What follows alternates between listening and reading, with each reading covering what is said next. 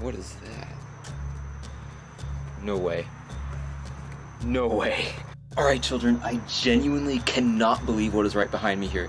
This is a web spinner, or an insect in the order Embioptera. Now, specifically, I think this is a member of the genus Oligotoma.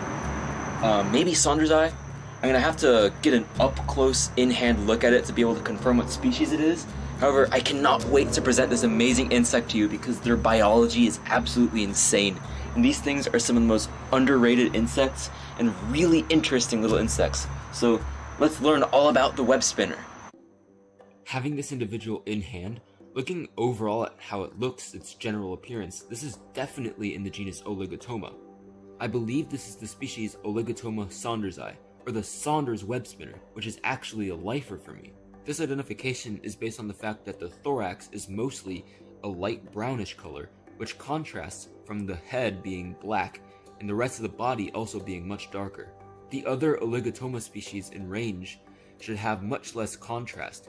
It would either be entirely black or the brown would on the thorax would not be nearly as contrasting as it is on this individual. Web spinners are a very poorly researched group of insects, and honestly, their taxonomy is not very well known because of this. It is thought that, based on genetic analysis, they are the closest relatives to the Phasmida, or the stick insects and leaf insects. So this is crazy that this guy was just coming right up to this light.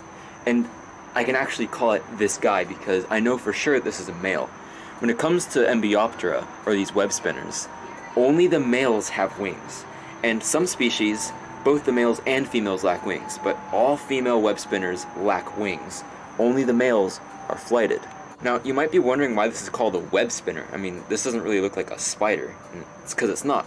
These things actually live in colonies where they build these elaborate webs of silk in the ground, in the soil, in the leaf litter, and under wood. And they actually raise their children. Now, they have all the babies, and the juveniles live in the soil, and the leaf litter, in the protection of the web nest that is built. Many winged species, like this one right here, the Saunders web spinner, the males will fly out of their colonies to find potential mates. This behavior is the reason why basically around 99% of people's encounters with these rare insects are with males that are flighted. While it takes a lot of effort to find females and juveniles in the ground, most people tend to find the winged males flying around, and in this case, a winged male was attracted to this bright light.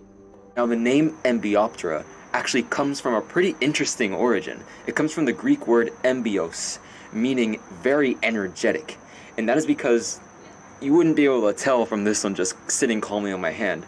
They are very fast runners on the ground, and even are known to be able to run both forwards and backwards at pretty impressive speeds for an insect. Now, I've seen a few web spinners in leaf litter while searching for stuff like ants and spiders underground in the leaf litter. But the nymphs are wingless, just like the females, and are pretty small almost translucent nymphs before they turn into these darker adults. But this is my first time ever seeing an adult, and it's really cool seeing one of these winged males for the first time. And I'm pretty sure this is a lifer species for me too. Now, web spinners, especially the males, even just ignoring the wings, are very weirdly flattened and elongated in appearance, with kind of an ant looking head, but a very narrow rest of the body. And the legs are very strangely positioned on the body. Instead of with all six legs being relatively packed together, the legs on Embioptera are kind of spread throughout the body, with the front legs being very close to the head, but the back legs being very close to the start of the abdomen, so the legs look much more spread out than normal for an insect. Alright children, hope you liked learning about web spinners. Now it's time to let this little guy back onto the wall.